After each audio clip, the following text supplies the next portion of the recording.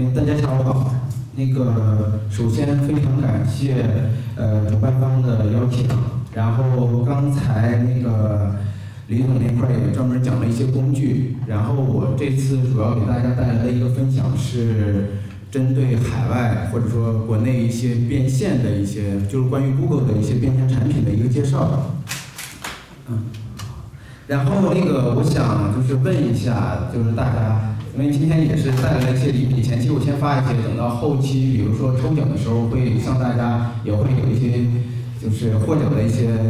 呃人，到时候会给你们去发相应的一些礼品啊。然后针对 Google 的一些产品，大家谁就是变现的产品，有几个谁可以说去解答一下？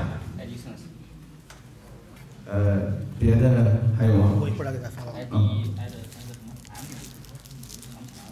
嗯，牛工今天带来了一些，对我现在带来很多 Google 的产品啊，一箱子，然后我把全部扣下来了，因为太多了会显得我们今天准备的礼物不够充分了，所以呢就拿出来三本的话呢，一会儿大家回答问题，另外的话我们后续会在我们的公众号里边陆续的会发出去，全部肯定是要发给大家的啊。然后，然后就是这个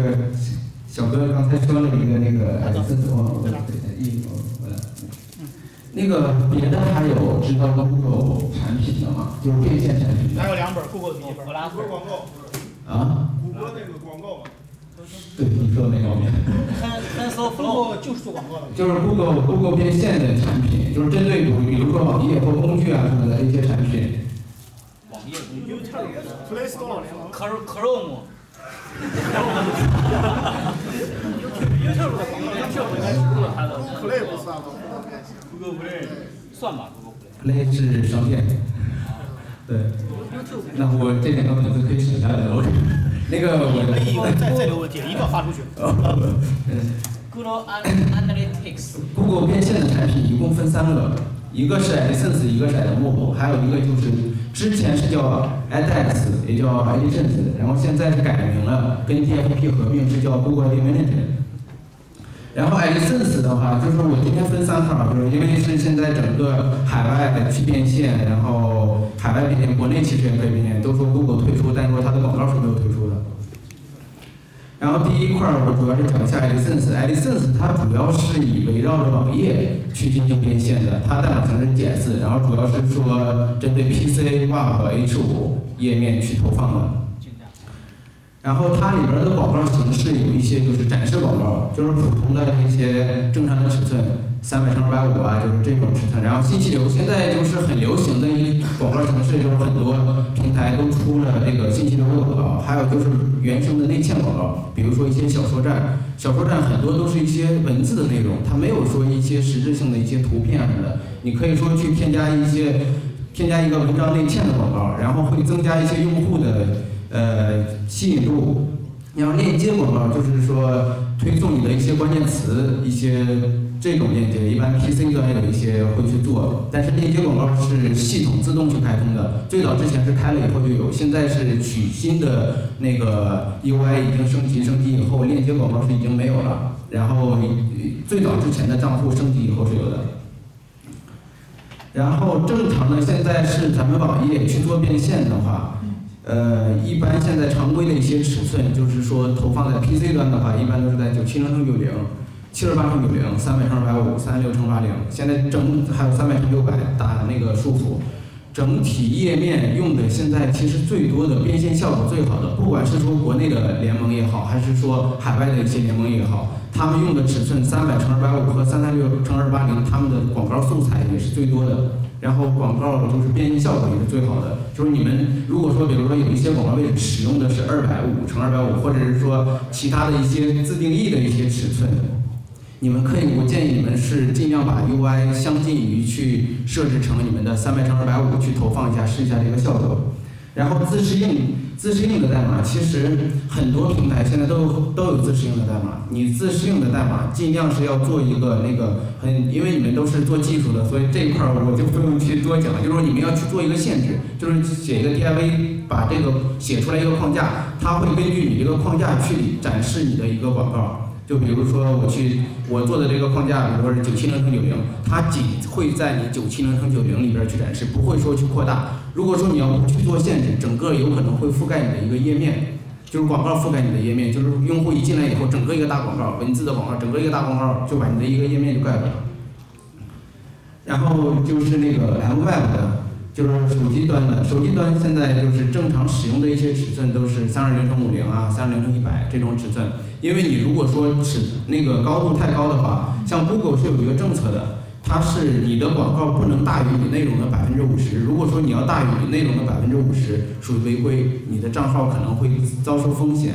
因为 Google 那块儿政策相对来说，你们应该都打过交道，知道 Google 的政策是相对来说比较严格的。小心就是说，比如说我做了一个月、两个月，然后我这个钱收不到，这就是非常遗憾了。然后自适应，这个也是，就是你手机端的话，也尽量去做一个 DIY 的一个框架，高度就是宽度你可以不用去做限制，因为有一些用户，比如说是平板的用户，平板的用户你要是说做的这个没办法去做适应的话，你的平板的宽度它不够，然后你只需要去限制你的高度就 OK。然后你的高度你可以设置，正常来说其实设置到别超过二百五，就是说一百，或者说也包别的就是三百都可以。然后他们的代码形式都是 JS 的，呃，然后还有就是一个广告形式，就是说游戏贴片，还有视频贴片。有很多人是做 H5 小游戏，现在的比较多，就是现在整体的不管说深圳也好，就是说北京也好，因为我发现就是很多有一些 APP 的流量，线下的流量或者线上的流量。然后我会去把一些用户去导到我一个 A 十五页面，因为相对来说它的一个人工的一些成本，还有就是说我整个一个技术的一个开发时间周期比较短，然后我的用户吸引也比较是说容易导流量进来。然后这些的话你是需要单独去申请的，你的账户如果说开通，就是开通正常有的形式，就是我刚才说的这这些形式，展示广告、信息流、文章内嵌这几个形式都有的，但是说你。视频贴片、游戏贴片这是要单独需要去申请。这个就是说，我们就是正常来说，这个案例是我是删掉的，然后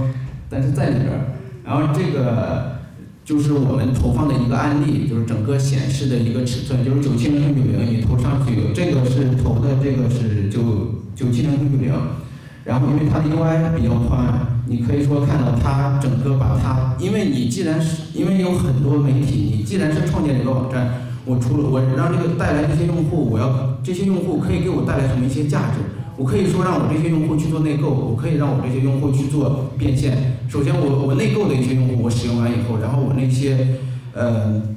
我那些剩下不做内购的，我可以说去给你去推做进行一个广告变现、一个商业化变现的一种模式。我可以说给他们去展示广告，但是展示广告你不能是说我广告展示的尺寸比较乱，然后用户看到就是觉得你这个 UI 啊，然后整个一个页面的排版会特别差，会影响用户体验，一个造成一个用户的一个流失。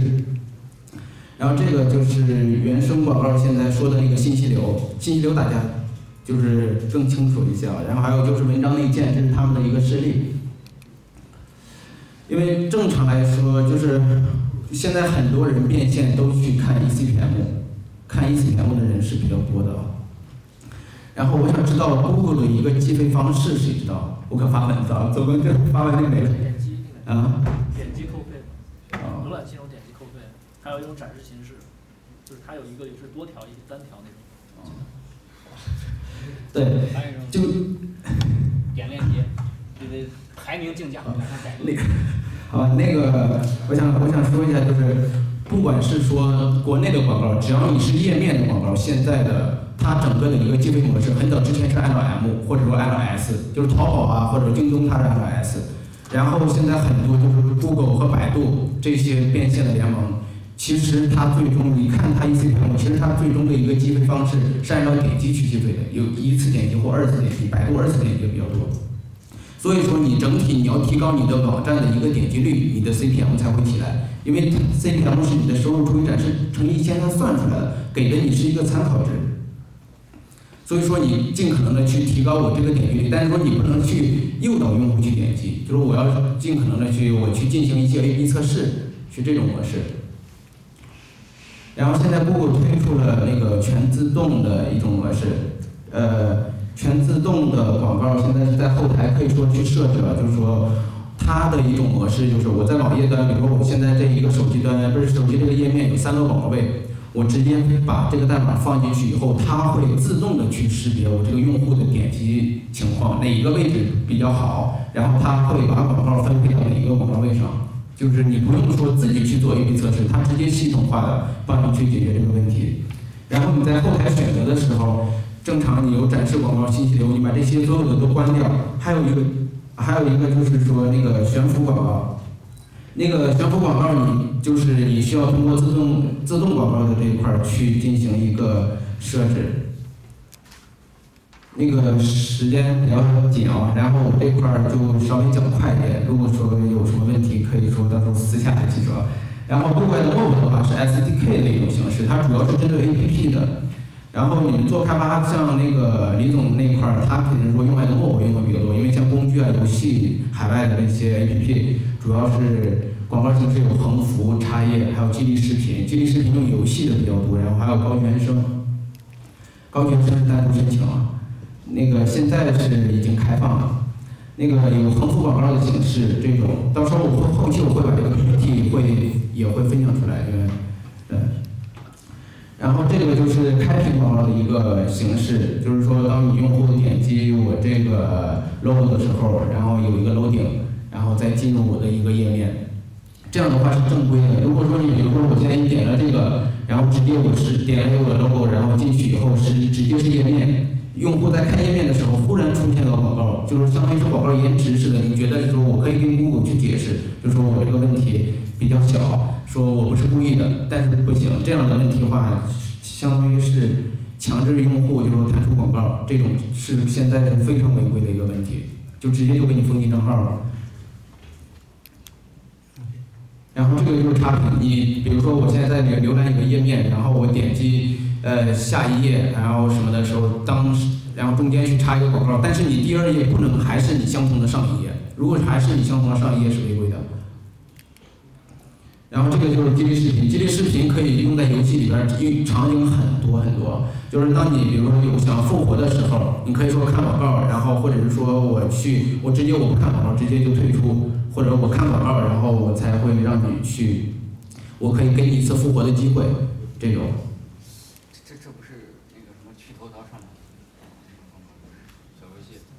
等会儿，等会儿再来私下说。那个我那个还有那个高高原高原生，高原生现在就是说，之最早之前是原生，然后现在是高原生。原生是之前有大中小的一个框架，现在不是了。高原生是我可以随意的去调整，想做多大做多大，想做多小做小。这是说原生和高原生之间的区别。原生的区别，原生直接就是说我小框架，你仅限于在这个框架里边去调整。高原生是我任意的去调整。然后，Google 跟我们有一个是 mediation 这一块儿，mediation 就是中介。我还是希望大家这个不用去开通，直接就可以使用。还是希望大家去尝试一下，去做一下这个 mediation。它可以提高你的一个填充率，还有还可以说提升你的一个收益。它会它会去自动的去。根据你过去七天的其他内容，比如说 Facebook、Unity 这些平台去进行一个竞价的一种模式，它不会是说因为是 AdMob，然后我就会优先的去出 AdMob，它会去根据价格去出。然后中介也可以集成自己的广告，也可以说去集成第三方的。然后现在这个 AdMob 的这些广告联盟支持三十多家，所以说就是实时竞价的现在支持十八家应该是左右。就是你们可以说把我的一些优质的流量给到一些，比如说 Adex，就刚才说 Imagine，然后或者给了直客，剩下的然后给到我自己。然后就是 Illumination，Illumination 的话，这个平台就是 AdSense AdMob 的一个升级版，它主要最大的一个功能就是可以做优化。我可以说在后台，因为